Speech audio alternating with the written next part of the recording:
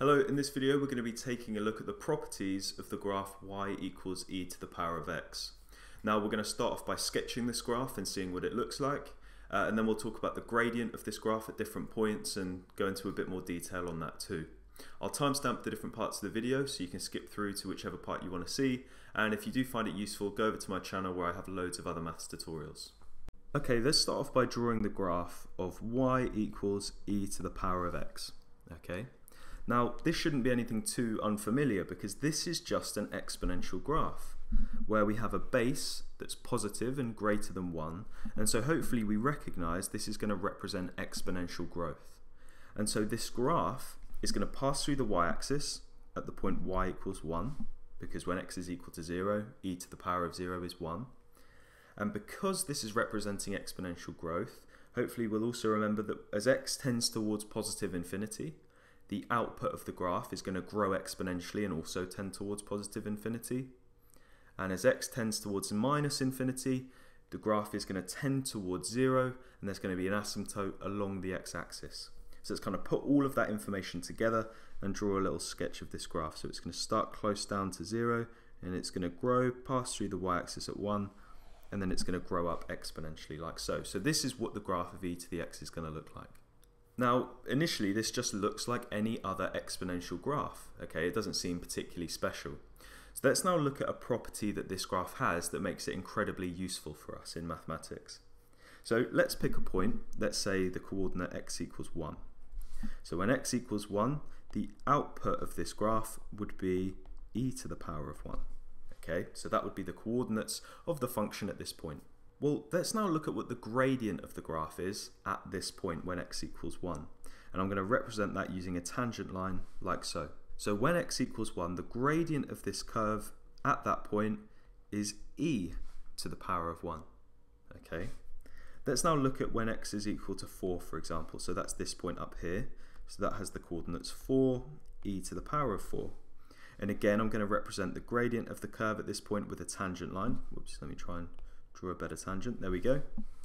Now the gradient of this tangent is equal to e to the power of 4. And you might be starting to notice a pattern, and that is that the gradient of the curve is equal to the output of the curve at that point. See, hopefully you can see how that matches up.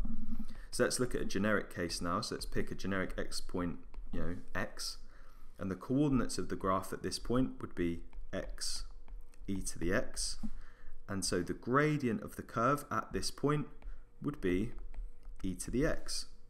And so we can say that the derivative, so dy by dx, of the function e to the x is just e to the x. It's its own derivative. And this means that using this exponential function, so e to the x, makes maths a lot easier for us because whenever we're modeling exponential growth, so you know it might be of a population of animals or something, or exponential decay, you know, of a radioactive substance, if we choose to use the number e as the base, when we're calculating rates of change, so we're calculating derivatives, because it's its own derivative, it just means the maths becomes a lot easier. And so it makes the maths a lot simpler, which is why we choose to use it, and it's why it's such a useful number for us. Now you might be thinking, why is it its own derivative? Because I've kind of just told you that. Uh, and one way to look at it would be through differentiation from first principles. So I've got the function e to the x, and let's use the definition of differentiation from first principles and put in what we know. So I'm going to copy and paste this part just to save a bit of time. So to find the derivative, we're going to take the limit as delta x tends to 0 of f of x plus delta x, which is just e to the x plus delta x, minus f of x, which is just e to the x, all over delta x. Now, the first thing I'm going to do is notice that I could rewrite this, I'll do it at the side, so e to the x plus delta x I could rewrite as e to the x multiplied by e to the delta x because the bases are the same, so I just sum the exponents. So let me copy and paste this down and I'm going to rewrite that. There we go. So I'm going to rewrite this as e to the x multiplied by e to the delta x. Now another thing is on the numerator, okay, I have an e to the x in both of these terms, so I'm going to factorize that out. So again, I'm going to copy and paste this part down, and then I'm going to factorize out e to the x. And so I get e to the x multiplied by e to the delta x minus 1 over delta x.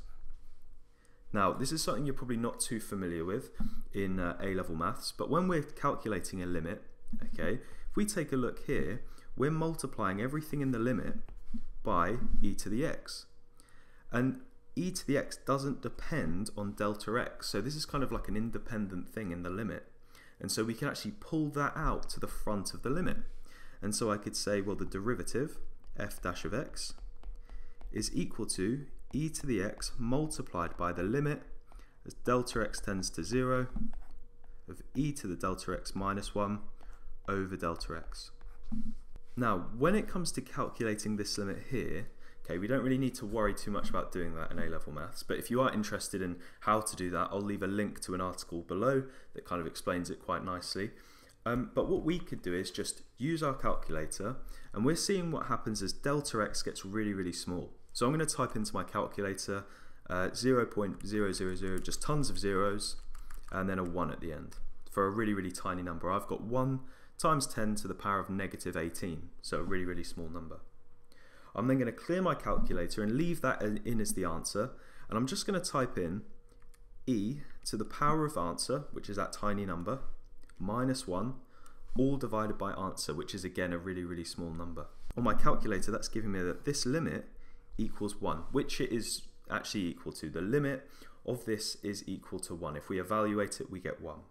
And so I'm just doing 1 multiplied by e to the x, and so the derivative f dash of x is e to the x multiplied by 1, which is just e to the x. And so it's its own derivative. Okay, so another way we could look at this is graphically. Okay, and you can see here I've opened up Desmos and I have a graph of this red curve here which is f of x equals a to the power of x. And you can see here I've got this slider and as I change uh, the value of a you can see the curve changes. Okay, So currently we're looking at the graph of 1.4 to the power of x. That's what this exponential graph looks like. Now I'm also going to add on to this graph y equals f dash of x which is just the graph of its derivative. Now we know already that e to the x is its own derivative, right? So the question is, well, we know the answer, but what we're saying is, is there a base a that I can choose that makes the graph of y equals a to the x equal to its derivative? So let's change the slider and see what happens. And as I change this value of a, you can see the curves are getting closer and closer together. And then at this point around here, you can see they're basically the same. And as I continue to increase A, they then move further apart. And you can see for the value of A that's you know 2.7 whatever, some other digits, in fact, we know already it's E, the two curves are the same. And so if I let A equal E, you can see the curve and its derivative are the same. And so we can see that, well, e to the x is its own derivative.